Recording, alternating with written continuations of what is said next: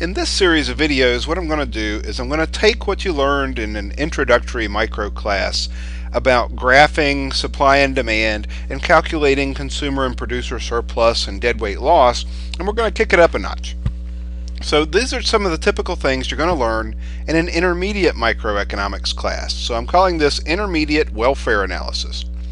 Welfare analysis, one facet of welfare analysis at least, is, is uh, calculating consumer and producer surplus and seeing how people are impacted. How is their welfare impacted uh, whenever there are things like price floors and ceilings, etc. Now, I'm not going to explain the basics of what's going on here. A prerequisite is either you understand this from a previous class, if you have any uncertainties, uh, go to www.burkeyacademy.com and watch my section there called Intro, Intro Micro 4. It's about uh, 12 or 13 short videos there. Uh, or my YouTube playlist is the same content, Economics Graphing CSPS. So go see those if, if you get stuck on any of these. Now what we're going to do here is we're going to take this demand curve here, which can be represented by either of these first two equations. And this blue supply curve here, uh, which can be represented by either of these two equations for the supply curve. And we're going to look at the impact of a price ceiling of $10.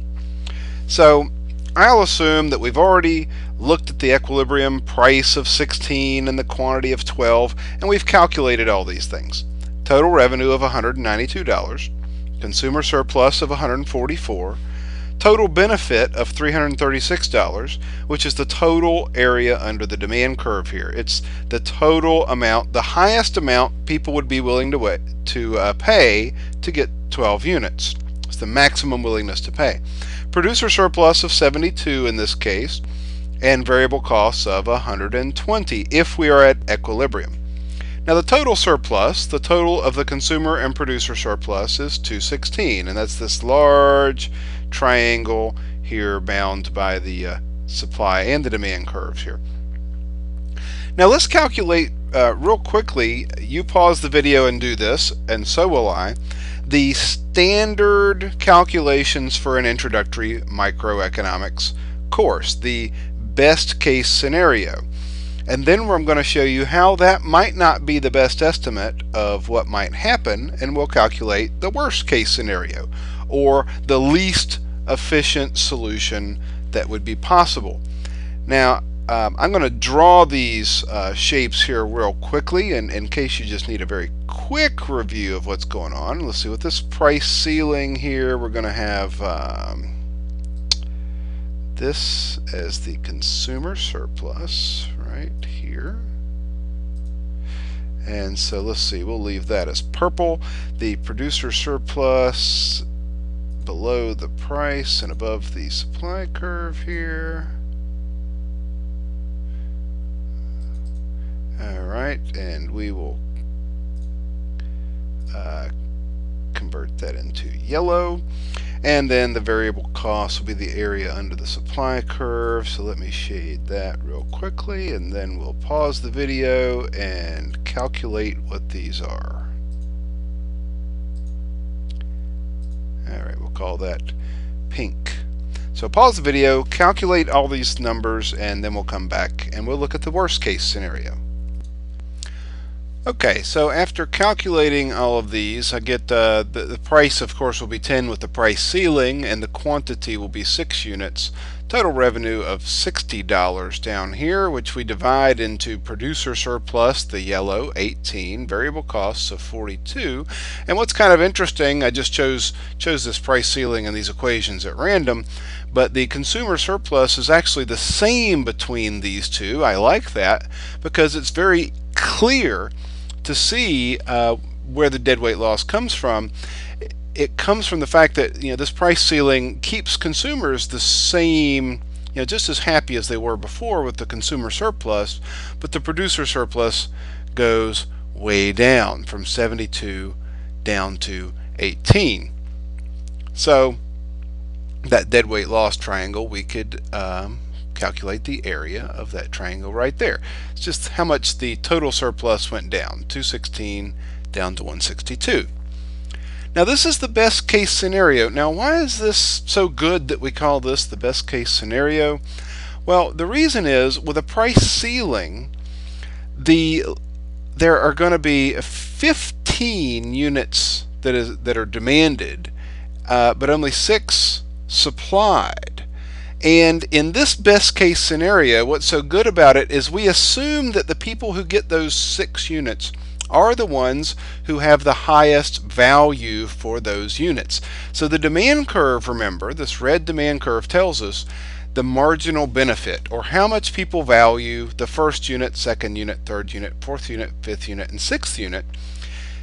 And this consumer surplus being so large here, what we're assuming is that this is either one consumer who says, okay, I'm only buying six units and these are how much I value these first six units to get this total benefit of 204. But this might not be the case. What might be going on here is that these are individual people who buy one unit at a time, perhaps a car or something like this. And if there is a price ceiling of 10, we don't know that it's going to be these first six people with the highest value that are going to be getting those six units. It could be, you know, whenever you you have a shortage, you have to figure out how you're going to allocate these units to people. Ideally, the best case scenario, the people who value the product are the ones that are going to get it. The people who value it the most are going to get it. And that's what you assume basically in an introductory micro class. But that is not necessarily the case. Let's look at the worst case scenario.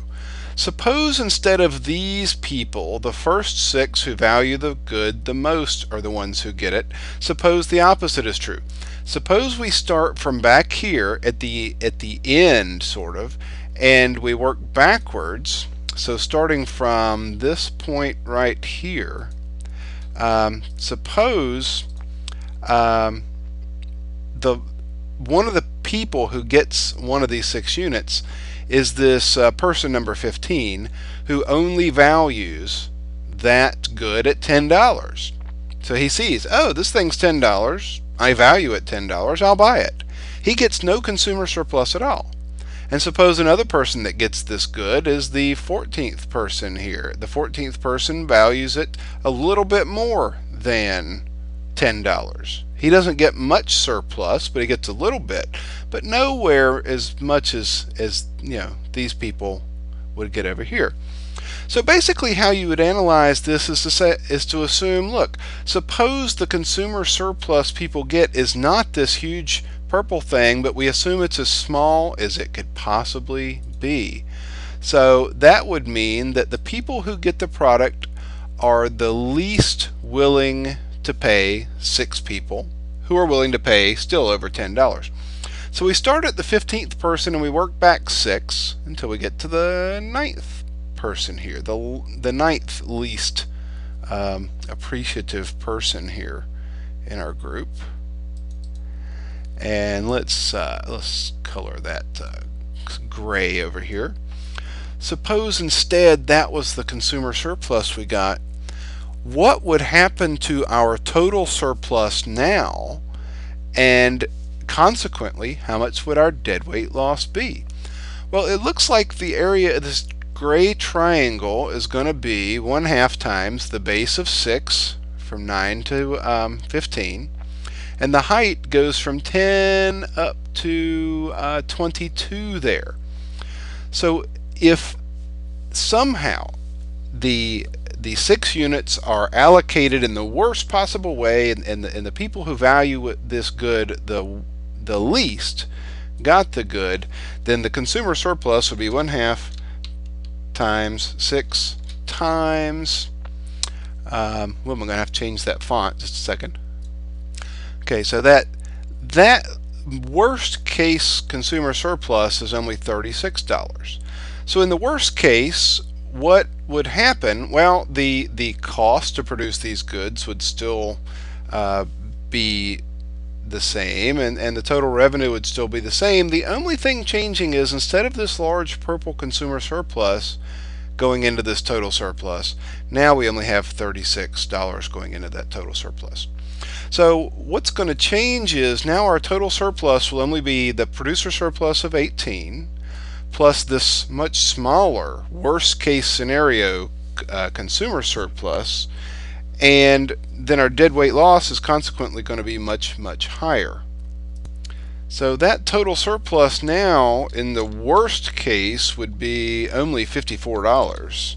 Again, the $36 worst case consumer surplus plus the 18 in producer surplus.